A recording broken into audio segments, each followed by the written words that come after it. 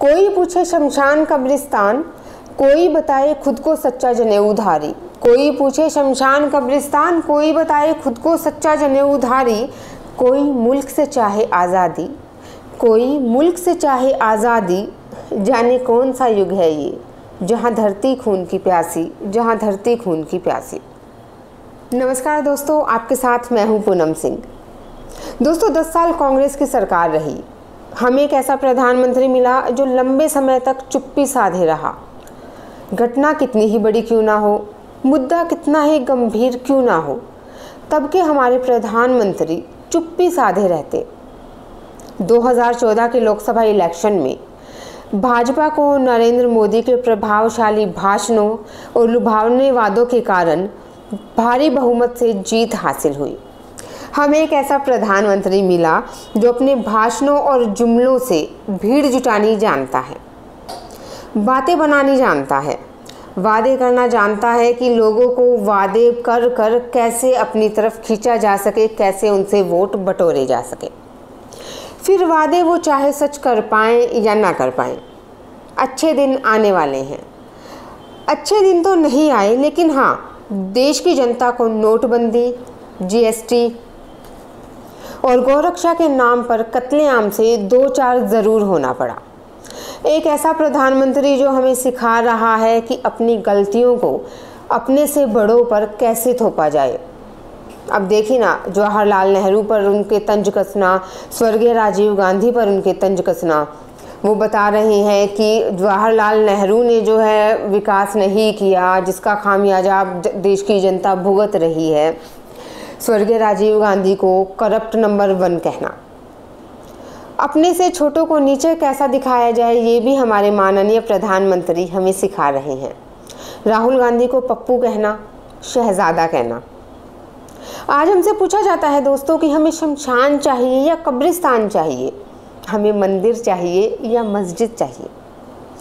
धर्म, जाति, संप्रदाय के नाम पर हमें बांटा जा रहा है। धर्म के नाम पर कत्लेआम किए जा रहे हैं। और उसमें सिर्फ़ ये नहीं है कि बीजेपी शामिल है। सभी राजनीतिक दल, चाहे वो कांग्रेस हो या बाकी के राजनीतिक दल हों, इन जो धर्म के नाम पर राजनीति हो रही है ना, इसमें सभी के सभी दल शामिल है दोस्तों। एक तरफ़ दोस्तों कांग्रेस है जो खुद को खालिस हिंदू पार्टी, ये तो ना हिंदू हिंदू का राग ना बड़े टाइम से हमारे देश में अलापा जा रहा है। कांग्रेस है, खुद को साबित करने में लगी है कि भैया हम भी ना खालिस हिंदू पार्टी हैं। राहुल गांधी जो है, वो सच्चे जनेऊधारी पंडित हैं। दूसरी तरफ़ दोस्तों, अल्पेश ठाकुर, जिग्नेश मेवानी, हार्दिक पटेल, कन्हैया हैं, जो आरक्षण, एक विशेष जाति के लिए ऊँचा दर्जा दिलाने की होड़ में लगे हुए हैं। आज़ादी की मांग करते हैं। लेकिन आज़ादी किसकी और किससे? कोई नहीं बता सकता। जब इनसे पूछा जाता है, किसी भी राजनीतिक दल के पास, किसी भी युवा के पास, इन बातों के कोई भी जवाब नहीं है। देखिए दोस्तों, घोटाले, दंगे और किसानों द्वारा आत्महत्याएँ।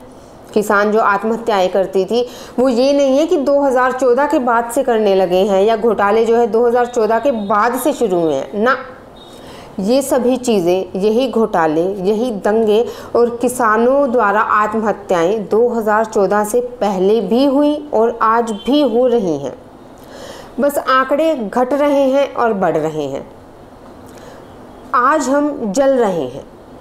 हमारे शहर, हमारे लोग, हमारे घर, सब हिंदू और मुस्लिम और दलित की आग में जल रहे हैं।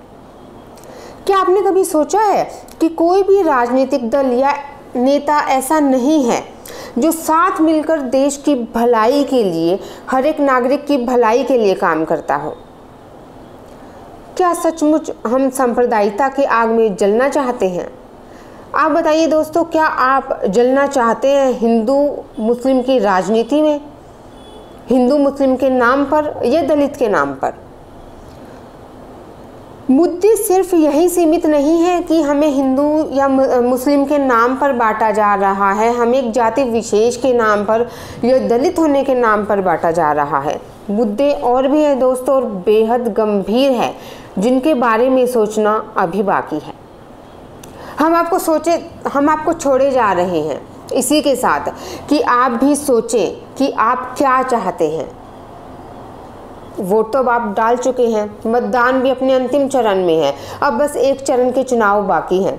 अब तो कुछ भी नहीं हो सकता, लेकिन हाँ आगे के लिए सोचिए दोस्तों। ध्यान दीजिए, चिंतन कीजिए, मनन कीजिए कि आपको कैसी सरकार चाहिए, हम कैसा राजनेता चाहते हैं, आखिर अपने नेताओं से हम क्या चाहते हैं। फ़िलहाल दोस्तों, आपको सोचना नहीं है, आपको बिना सोचे, बिना समझे ना हमारा जो द बेल है, इसका आइकन को प्रेस करना है, सब्सक्राइब के बटन को प्रेस करना है, लाइक करना है और शेयर करना है। और हाँ मैं हर बार कहती हूँ दोस्तों कि अपने कमेंट कमेंट बॉक्स में लिखना ना भूलें, क्योंकि आपके कमेंट हमारे लिए सबसे ज़्यादा मायने रखते हैं। आज के लिए बस इतना ही दोस्तों, अब चाहती हूँ आपसे इजाज़त। नमस्कार।